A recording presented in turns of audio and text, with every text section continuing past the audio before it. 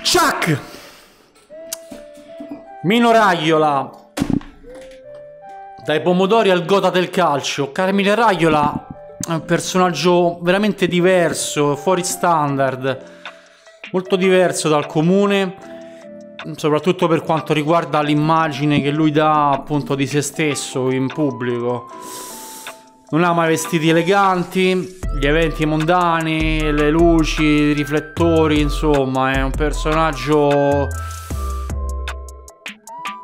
che si, disting- che si distingue, insomma, il comune mm, mm, per, per, un agente di calciatori, insomma, il vestito elegante, la cravatta è comune, no?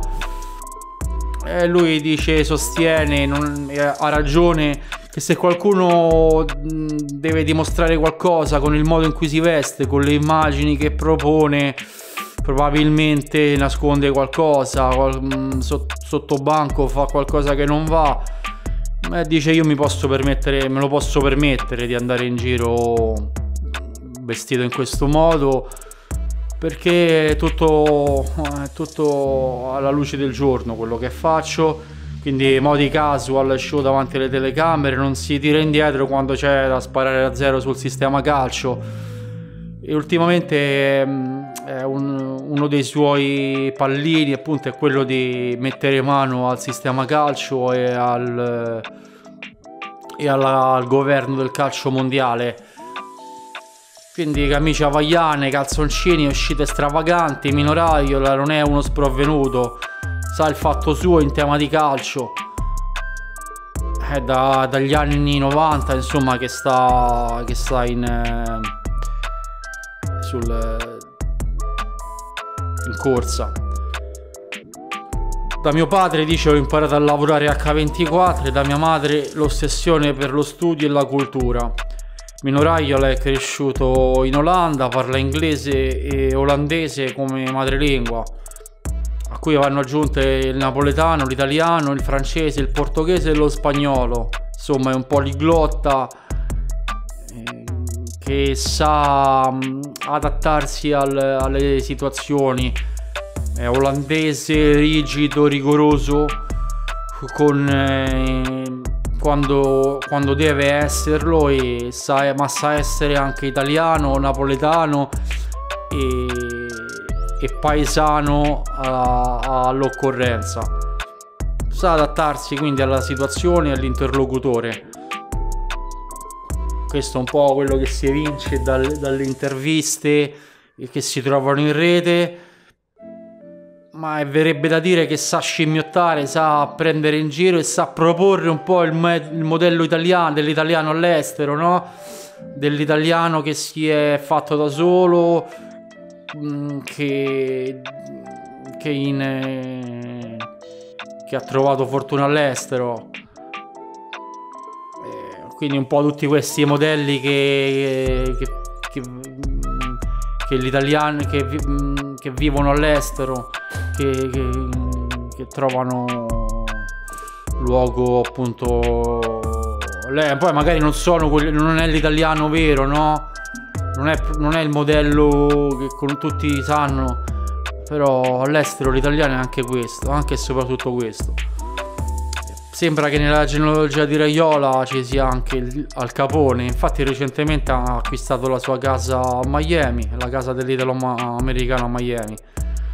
Inutile enumerare i, i giocatori che Raiola nel suo, nella sua scuderia, sono top player tra i quali ci sono tra i quali Ibrahimovic, Pogba, eccetera. Raiola è riferimento per eh, i giocatori olandesi, non solo, i scandinavi, gli italiani e italiani. Dice, lui dice di se stesso quando giocava a calcio era un numero 10 e ero abbastanza arrogante. E probabilmente, probabilmente lui attira questo tipo di giocatori che in lui si, si identificano e viceversa come dice appunto a un'intervista. Sono giocatori appunto sono giocatori che mh, mm, è così prendere o lasciare. Poi in basso in descrizione ti metto tutte le mh, mm, tutti i riferimenti tutte, fonti, le fonti da cui ho attinto. Mm, passando alla biografia, Mino Raiola, all'anagrafe Carmine Raiola, nasce ad Angri, non c'era... Eh, è di Angri, ma nasce, non c'era inferiore il, inferiore il 4 novembre del 1967 da una famiglia di Angri, appunto. Il padre faceva il meccanico, all'età di un anno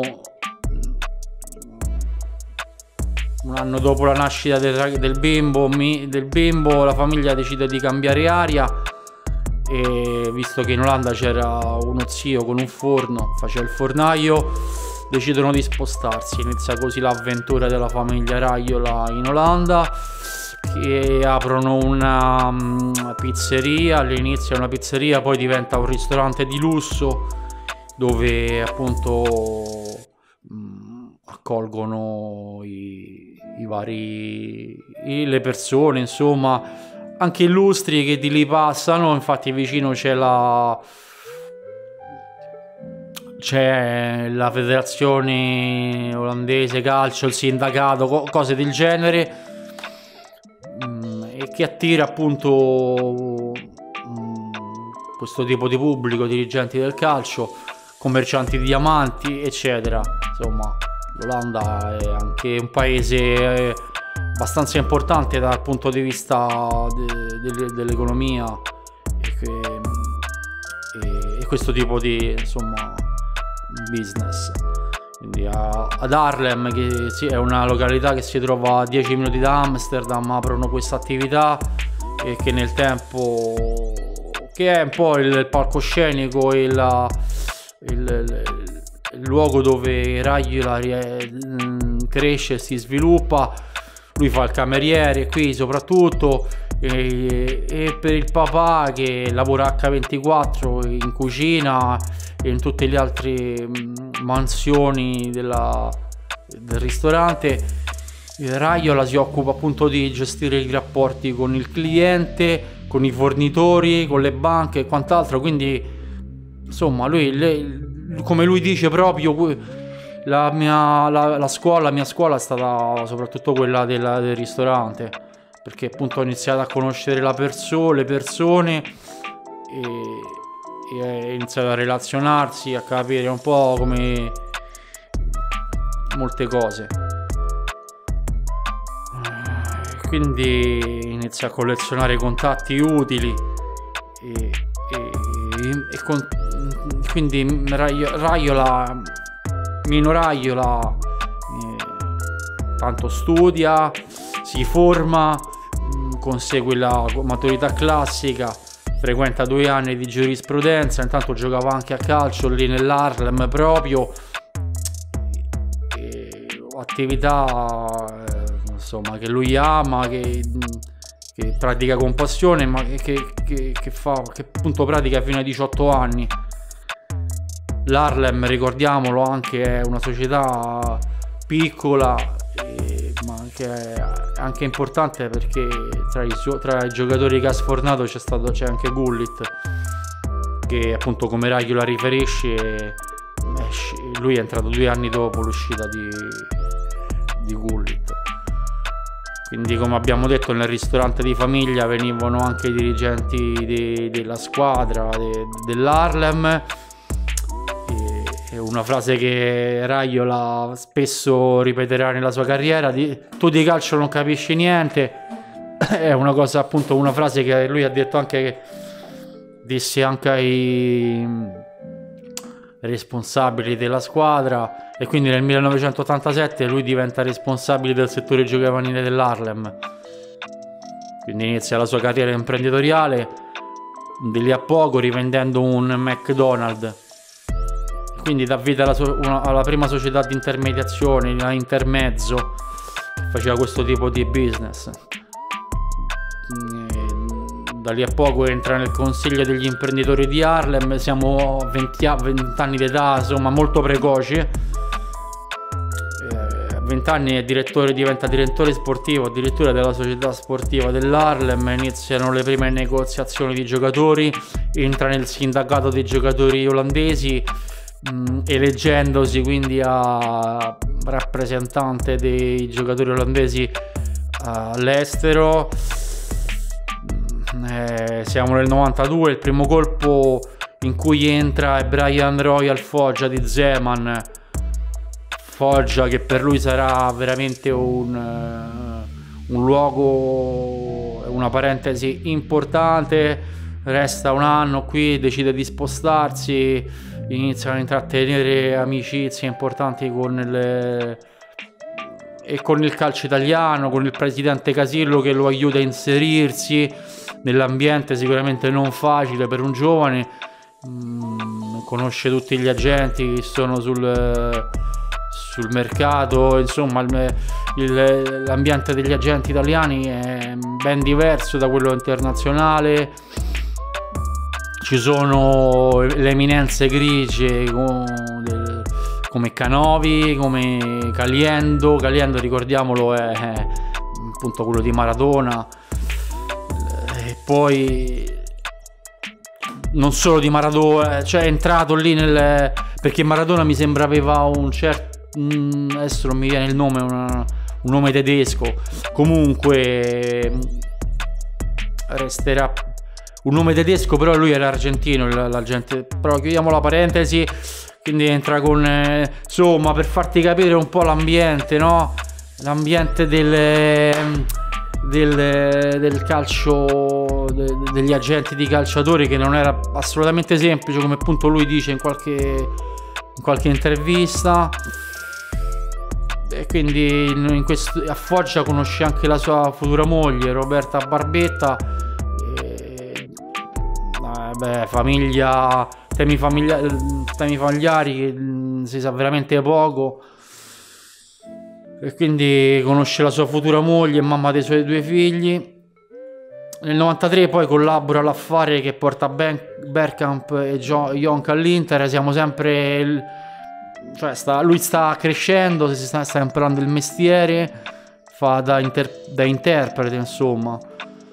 Da lì a poco diventa agente FIFA ed, eh, dà vita alla società Sportman con sede a Monte Carlo, uffici in Brasile, Paesi Bassi e Repubblica Ceca.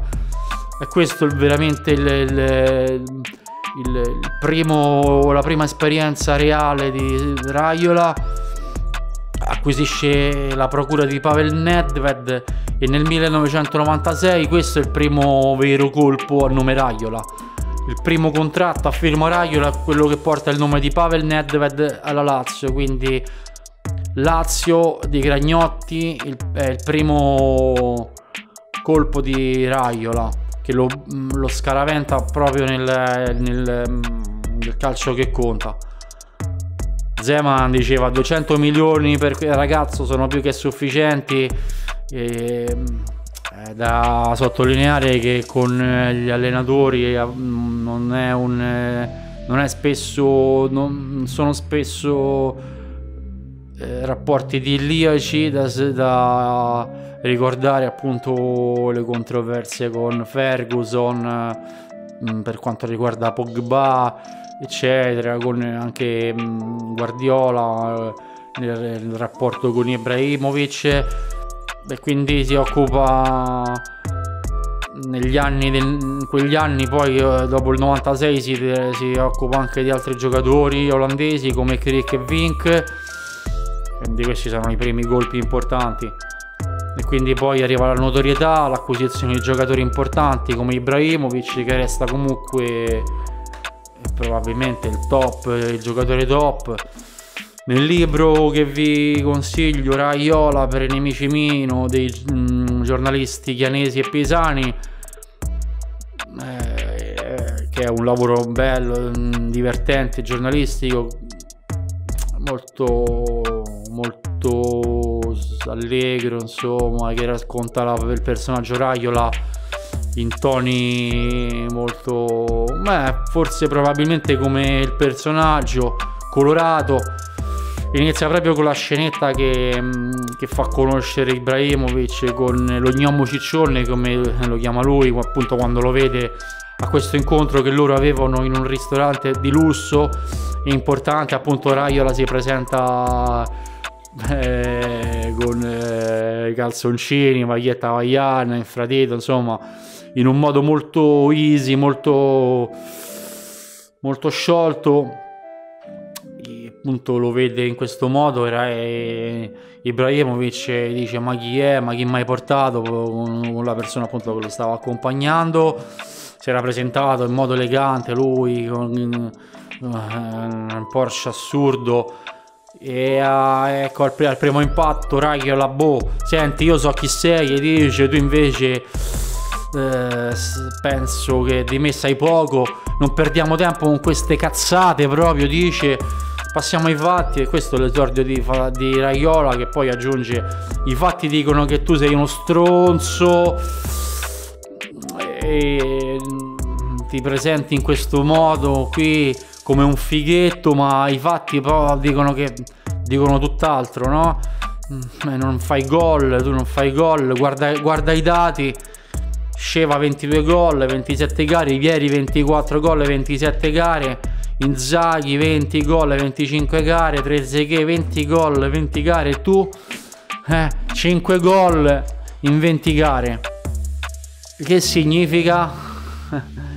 Insomma, questo è questo è Mino Raiola che mm, poco, dà poco conto, dà poco importanza alle apparenze, mm, ma più a, a, ai contenuti. E quindi questo è quanto. Se il video ti è stato utile, ti è piaciuto, mettimi like, condividi e bla bla bla.